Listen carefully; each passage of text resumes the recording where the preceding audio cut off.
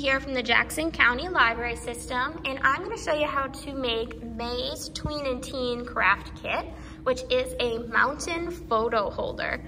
And those craft kits are completely free. You can pick them up at any point during May until we run out of them. So in your kit, if you pick one of these up at the libraries, you'll get the instructions, some air dry clay, the paint you need, a paintbrush, and some wire. And I've got enough supplies in here to actually make two photo holders. But there are a few things I'd like you to go grab before we get started. And one is to go get a paper towel and get it a little damp. We're gonna use that on our air dry clay later. Then grab a Sharpie or some sort of cylinder that's about this size. So we're gonna use that when we twist this top part of the wire. And finally, go grab a cup of water that you can use to wash out your paintbrush when we are mixing and painting later on. So first things first, after you go grab that stuff, if you want, you could cover your workspace with some newspaper or something because air dry clay can get messy. But you're gonna unwrap it and you can kind of work it in your hands here and make sure it's nice and movable. And like I said, I gave you enough to do two of them. So you can just rip it in half and make two mountains about the same size. Or if you want one to be bigger and one to be smaller, you can do that too. So you've got two two lumps and you need just one of them. And the nice thing about these mountains is they're not perfect by any means. That's like in nature. They're bumpy, they don't have to be perfectly straight. So the sculpting of the mountain can be relatively quick. So you're gonna just, let me get my paper here. Okay, so you can just press it down. So it has a nice flat bottom. And that's gonna make sure it doesn't wobble, right? It stays pretty steady there. We don't want it to tip over. So we're gonna make that nice and flat on the bottom.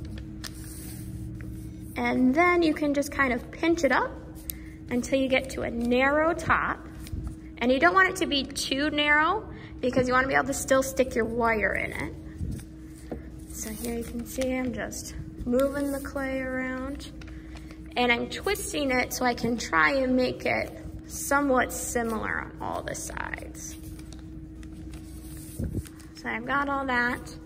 I'm just kind of pushing it down into the bottom again so it's nice and steady when it dries. And I've got a little bit of flat surface there on the top. It's not a exact point or anything. And again, that's for the wire. So easy as that, I've got a mountain shape. So now I'm gonna take that damp paper towel and just kind of seal the clay together and smooth it out some. You don't need to smooth it out perfectly because mountains have bumps and crags and some cracks in them. So you can just do this a light touch here, smoothing them out.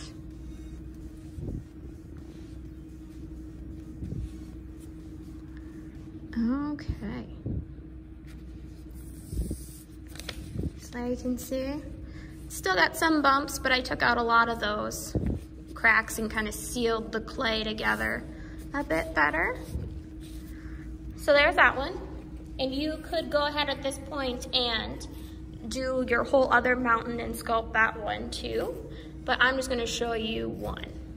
So the next thing I'm going to do is get my wire ready.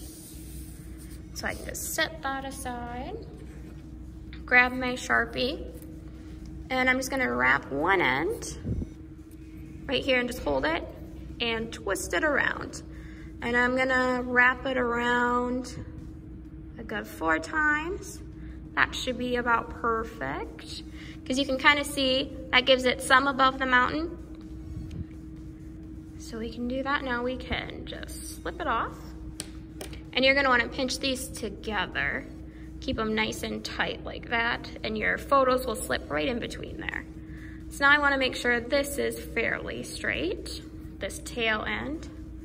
Grab my mountain, and just go for the middle of my peak here and press down. And you're just gonna go all the way through your mountain. And there I hit the ground, or the table in this case. And there we go. So now you're just going to leave it to dry. I can see some more cracks I'm just gonna fix there. So the air dry clay, like in the name, like the name says, just dries while sitting. It dries pretty nice. So here you can make sure it's nice and sealed up to that too. Hold that. This will dry overnight. And then the next day you can come in and you can do the painting process. So that is our air dry clay mountain. Next step is going to be the painting. So I'm just gonna pause here and then I'll do the painting with our dried mountain. Okay, after you've let your mountain sit overnight and get dry, we are gonna go on to the painting. And so you are going to be painting it with a couple different colors here that we're gonna achieve by mixing the paint. So you've got just this plain white paint, and then we've got a light gray and a dark gray that you're gonna make out of the white and black paint that I've given you. So you're gonna wanna grab a, a paper plate or if you have a palette to mix paint on, you can grab that. And so for the light gray, you're gonna want more of that because that's the bulk of both of your mountains. So you're gonna want a lot of white and just a bit of black to make it into a nice light gray. And then for your dark gray, you're gonna want a smaller amount of white and then some black to make it just a darker color than the rest. And you're gonna wanna make sure you leave some white in your container because that'll be the tops of your mountain. So I'm just going to speed it up here quick while I mix the paint.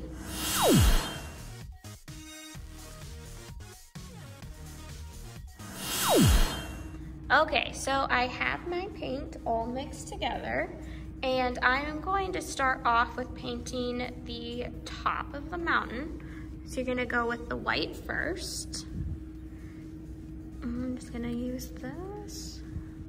And you can be very loose with that paint. You don't have to be in a straight line or anything because the snow just falls as it falls on your mountain. And it's probably gonna take a couple of coats.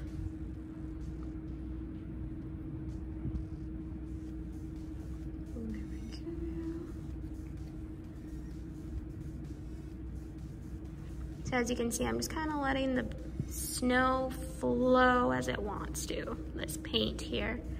Not worried too much about it being perfect and straight. They can just let it be what it wants to be here.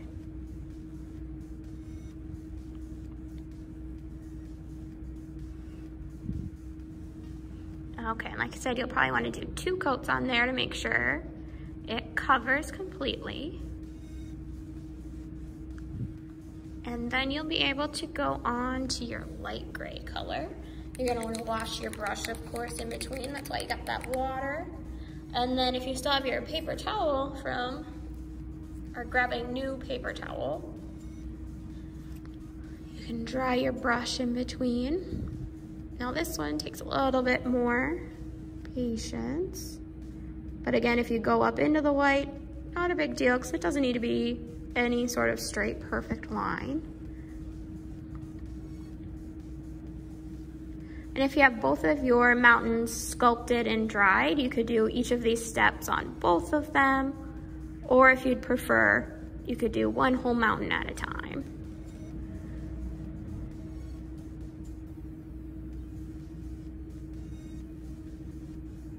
You can see it's pretty easy painting on there.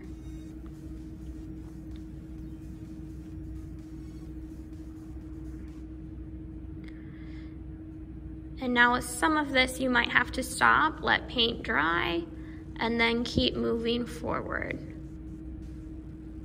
So like we're gonna have to let all of this gray dry before we go in with the dark gray.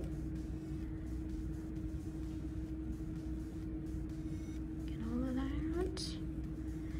And you might wanna paint just slightly underneath so that the color goes all the way for your mountain.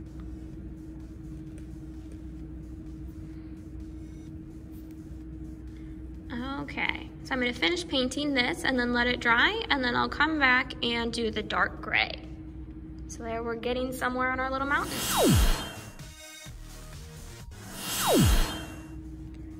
Okay, so I let my gray paint dry and then I did a second coat of the gray and the white. Um, it just gives it a nicer finish if you do both of them as a second coat. So once you've got that done, then you can add your little lines of the dark gray.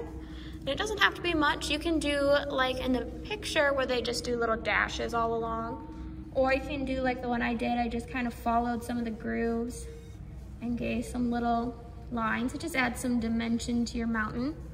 So you can add in some of that dark gray as you go. Just a few little lines.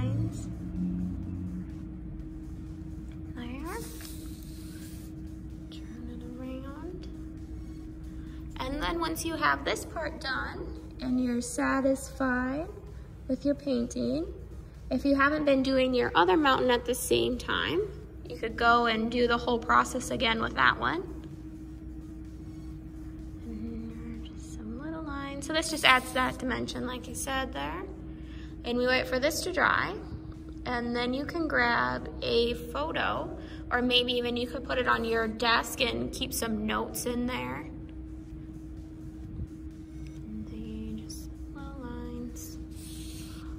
Or like I said, you can do no lines. You can do whatever lines you want. But there we've got some. Add some interest factor there to our little mountain. All right, so that'll dry. Your clay should be all dry too because you let that sit overnight. You've got your wire here ready for a photo. So when it's all dry, you can stick one in there. If you stick it in and then you pinch that wire together, it'll hold it there. And you've got your very own mountain photo holder. So have fun with this craft for May. We will be back again with summer crafts and you can get all signed up for summer reading starting on June 1st. We've got some really fun events that you can see on our website, which is jclmn.org slash summer. And we have some really fun stuff coming up for tweens and teens. We've got a photo contest. We're gonna virtually travel to Alaska, to the Alaska Sea Life Center, learn about sea lions, and even do a squid dissection if you want to pick up your very own squid at the library. And we're also doing a night hike over at the Prairie Ecology Bus Center. And if none of those are your things and you like to just keep doing the crafts, we're gonna have brand new craft kits every single month during the summer. So you can do all of that. You can get a reading log and log minutes of reading all summer long and earn prizes, which we've got some fun stuff there too. So we've got a lot of things coming up, but for May, we have a mountain photo holder that you now know how to make. You can grab those at any of the three Jackson County libraries. See you next time. Thank you.